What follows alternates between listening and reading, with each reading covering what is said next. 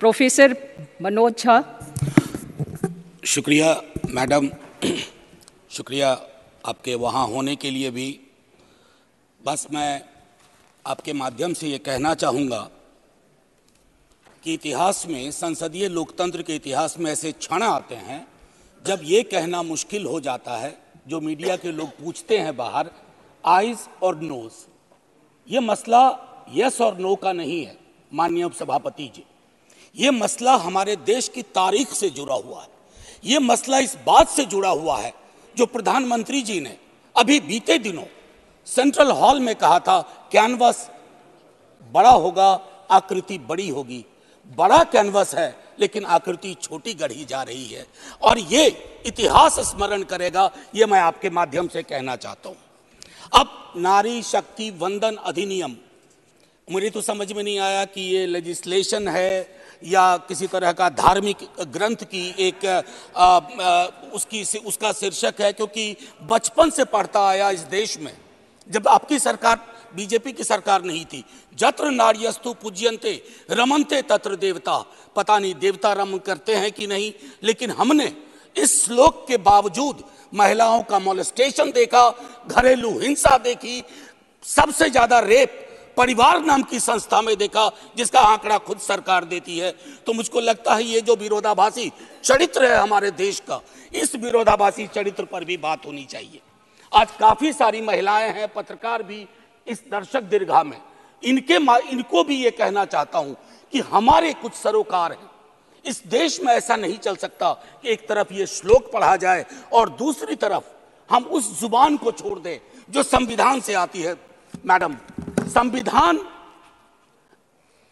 Rights की बात करता है, अधिकार की। हमारी वोकेबलरी को क्या होता जा रहा है? अधिकार दया की श्रेणी में नहीं आएगा, लेकिन पूरा का पूरा जो टेक्सचर देखता हूँ, वो दया की श्रेणी में बात होती है। अधिकारों की बात कभी दया से नहीं होगी। माननीय deputy chairman ma'am chairperson ma'am sorry as per the delimitation commission 2008 हमारे पास जो सीट्स हैं 412 जनरल सीट्स चौरासी 84 S Cs forty seven S Ts अब हम क्या कर रहे हैं इस बिल के माध्यम से? चौरासी और सैतालीस के अंदर वन थर्ड कर रहे हैं। क्या यह अन्याय नहीं है?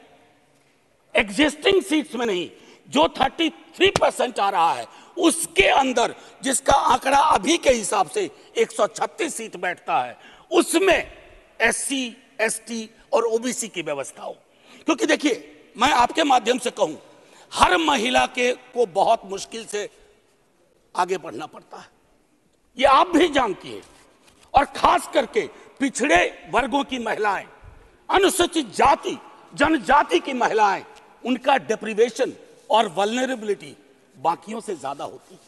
हैंड होल्डिंग करने के लिए कोई नहीं होता है। हैंड होल्डिंग करने के लिए कोई नहीं होता। है अगर आप पहुँची तो बिना हैंड होल्डिंग के। लेकिन उन पिछड़ी जाति की महिलाओं का क्या? जिनके हैंड होल्डिंग के लिए ना हमारे धर्म ग्रंथों में कोई व्यवस्था है और ना आज की समकालीन बातचीत में कोई व्यवस्था है। रेटोरिकली हम कुछ भी कह दें, मेरा सिर्फ़ आपके माध्यम से कहना होगा कि हमारी पार्टी, आज मैं स्मरण कर रहा हूँ, हमारे राष्ट्रीय अध्यक्ष लालू प्रसाद यादव जी, भगवतिया देवी, कई लोग जानते होंगे पत्थर तोड़ने वाली महिला थी। पत्थर तोड़ने वाली। हमना साहबो गाली भैया हमना साहबो गाली।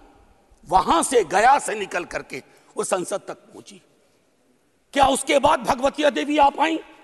फूलन देवी आ पाई? वो इसलिए नहीं आ पाई कि हम आपको दोष नहीं देते हैं। हमारी व्यवस्थाएँ संवेदन शून्य है। मैं तो आग्रह करूँगा तमाम साथियों को। आप किसी भी दल में हो, आज एक बार उससे बाहर निकल करके सोचिए।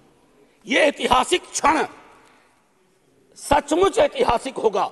अगर हमने आज इतिहास को व्यापक कैनवस पर देखा, जो प्रधानमंत्री जी कहते हैं, और प्रधानमंत्री जी की कथनी और करनी में फासला नहीं होना चाहिए। और यह फासला इसलिए नहीं होना चाहिए कि बड़े दूर फासले पे लोग खड़े हैं, अत्यंत पिछड़ी जातियों के लोग। मैडम, आप, अगर आपके माध्यम से मेरी बात पहुँच रही हो तो आज मैं आग्रह करूँगा तमाम साथियों से, चिंता न करिए दलीय विप की। दलीय विप समाज की व्यवस्था पे भारी होना चाहिए। इसलिए मैंने कहा समर्थन विरोध नहीं, आज भी मौका है। इसको सेलेक्ट कमेटी में भेज करके एस सी एस टी और ओबीसी को ओबीसी को इनकॉर्पोरेट किया जाए। नहीं, आज आप, हम नहीं करेंगे। हम ऐतिहासिक गुनहगार होंगे। मैं यकीन के साथ कहता हूँ, बाहर लोग वॉच कर रहे हैं। कहेंगे कि तुमने क्या किया ये? ये व्यवस्था ऐसे नहीं बदली जाती है। तो मैं आपसे आग्रह करूँगा आपके माध्यम से कि अपने दायरों से अलग होकर के, आप जब ओबीसी की बात करते हैं तो ये रेटोरिक से आगे बढ़ना चाहिए। हमारी चिंताओं में आना चाहिए। ये नहीं होगा कि बाबा साहब भीमराव अंबेडकर को माला भी पहनाए और उनकी बात को आत्मसात न करें। ये जो फ़र्क हमारे इसमें आ रहा है इससे कई तरह के विरोधाभास का जन्म हो रहा है। मैडम, चेयरपर्सन, मैं आपको कहूँ कि कोटा विद इन कोटा की जब हम बात करते हैं तो उसमें एक टर्म आता है जो एक अमेरिकन सिविल राइट एक्टिविस्ट ने 89 में दिया इंटरसेक्शनैलिटी अब ये इंटरसेक्शनैलिटी को, चूँकि मैं हिंदी में बोल रहा हूँ, आज मैंने सुबह इसका अनुवाद बहुत ढूंढा। उसके अनुवाद में एक अनुवाद आया, प्रतिच्छेदन। इंटरसेक्शनैलिटी का मतलब होता है कि हम हर लेयर की एजेंसीज और उसके अंदर की क्या विधाएँ हैं, उसके आधार पर अपना चरित्र एफर्मेटिव एक्शन प्रोग्राम को यह देखना होगा। जो खास करके वंचित समाज की महिलाएँ हैं, मैं उनके बारे में कहूँ, आपको एक बार अपना नज़रिया साफ़ करना होगा। अगर चश्मा लगाती है सरकार, धूप का चश्मा नहीं, अगर सचमुच का चश्मा लगाती है तो उसके पावर बदलिए। उसको साफ़ करिए और ये तय करिए कि आज जब हम यहाँ से उठे तो एक कमिटमेंट दें ओबीसी वर्ग को। और ये मैं बार बार दोहरा रहा हूँ कि 33 परसेंट के को एग्जिस्टिंग में मत इनकॉर्पोरेट कीजिए। इट शुड बी सेपरेट नई व्यवस्था में नया 33 percent without touching S and S ये करिएगा तो क्रांतिकारी कदम होगा। अक्सर हम लोग अपने प्रिविलेजेस को नहीं देखते हैं। मेरा सरनेम एक प्रिविलेज है। नीरज भाई का सरनेम सरनेम एक प्रिविलेज है। हमारे सरनेम ने हमें प्रिविलेज दिए हैं। उन सरनेम्स को देखिए जिनके पास ये प्रिविलेज नहीं है। नहीं, ऐसे ही ऐसे ही। मैं बहुत अच्छा किया। मैं ये कहना चाह रहा हूँ मैम चेयरपर्सन मैं ये कहना चाह रहा हूँ कि प्रिविलेज का जो व्याकरण है, वो खत्म ही नहीं हो रहा मैंने पहले भी सदन में कहा था कि इस देश में शायद there is nothing in name but everything is there in the surname उनके संघर्ष, उनका जीवन कठिन लगातार होता जाता है। और एक ऐतिहासिक तथ्य बताऊँ। 31 में बेगम शहनवाज और सरोजनी नायडू ने संविधान बनने से बहुत पूर्व इक्वल रिप्रेजेंटेशन की बात की थी। हम काहे को अटके पड़े हैं 33 पर? मेरी तो समझ में नहीं आ रहा कि 33 के साथ क्या रिश्ता है हमारा। ये 50 क्यों नहीं हो सकता? ये 55 क्यों नहीं हो सकता? आपका पूरा का पूरा वर्ग चरित्र बदल जाएगा। आप नहीं चाहते हैं कि भगवतिया देवी यहाँ है? हमेशा एक खास सरनेम, मैं तो बार बार कह रहा हूँ कि जो अलग अलग दलों में भी हैं, अगर वो पहुँचे हैं यहाँ तक अपने संघर्ष से तो उनको आज यह आवश्यकता है, उनको यह भरोसा दिलाया जाए। ऐसी कोई चीज़ आगे नहीं होगी। सबके लिए खुलेगा। आपकी ये जो नई पार्लियामेंट है हमारी, ये रंगीन ज़्यादा होगी। इंद्रधनुष में कई रंग होते हैं। हम ये कौन सा बिल ला रहे हैं, जिसमें ब्लैक एंड व्हाइट के बाद शेड्स ऑफ़ ग्रे भी नहीं है। अगर हमारा उद्देश्य डिपेंडिंग ऑफ़ डेमोक्रेसी है तो कदम उस दिशा में बढ़ाने होंगे। मैंने पहले भी कहा था कि 2010 में हमारा रिप्रेजेंटेशन देखिए। उसमें हमने S C S T O B OBC and minorities की बात की थी। और हम इसलिए नहीं कर रहे हैं। हम चाहते हैं कि वर्ग चरित्र बदले। संसद सचमुच में प्रतिनिधित्व की संस्था बने, जिसमें सबके आकार हों, सबकी शक्लें हों। ये ना हो कि एक प्रभुत्व वर्ग का उस पर, हमेशा उस पर उस पर छाप रहे। अब मैं कहूँ कि अभी जातिगत जनगणना, कल शाम के बाद मैम चेयरपर्सन मैम चेयरपर्सन अब मैं आपकी, आपका अटेंशन चाहता हूँ। कल शाम के बाद इस देश में लोकसभा में बिल पास हुआ, उससे ज़्यादा इस बात की चर्चा हो रही है ओबीसी के साथ नाइंसाफी हुई।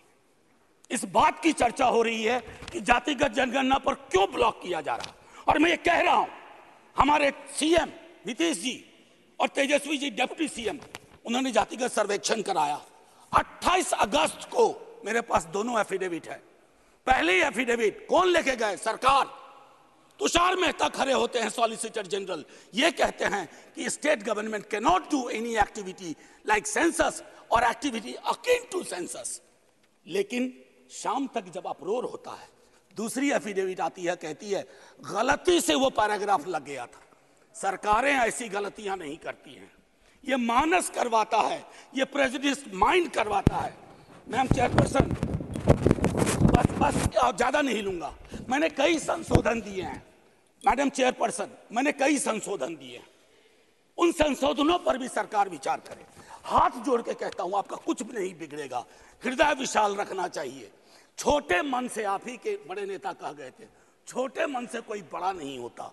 कैनवास पे बड़ी लकीर खींचिए। और मैं आखिरी में एक बात कह के खत्म करूँगा कि गले मिलकर गला दबाने की कोशिश ना हो। मैम चेयरपर्सन, एक मिनट। एक कविता लेके आया था। उसके पहले गले मिलकर गला ना दबाइए और ये कविता पढ़ के खत्म करूँगा और जय हिंद बोल दूँगा। ये ओम प्रकाश वाल्मीकि जी का है। इसमें जो प्रतीक हैं, वो किसी जाति विशेष के लिए नहीं है, क्योंकि हम सब के अंदर एक ठाकुर है जो न्यायालयों में बैठा हुआ है, विश्वविद्यालयों में बैठा हुआ है, संसद की दहलीज को वो चेक करता है। तो कविता कुछ यूँ है, चूल्हा मिट्टी का, मिट्टी तालाब की तालाब ठाकुर का, भूख रोटी की, रोटी बाजरे की, बाज़ार खेत का, खेत ठाकुर का, बैल ठाकुर का, हल ठाकुर का, हल की मूठ पर हथेली अपनी, फ़सल ठाकुर की, कुआँ ठाकुर का, पानी ठाकुर का, खेत खलिहान ठाकुर के, गली मोहल्ले ठाकुर के, फिर अपना क्या, गाँव, देश, शहर, और मैं फिर से क्लैरिफाई करता हूँ, वो ठाकुर मैं भी हूँ, वो ठाकुर संसद में है, वो ठाकुर विश्वविद्यालयों में है, वो ठाकुर विधायिका को कंट्रोल करता है। इस ठाकुर को मारो जो हमारे अंदर है। जय हिंद मैम जय हिंद।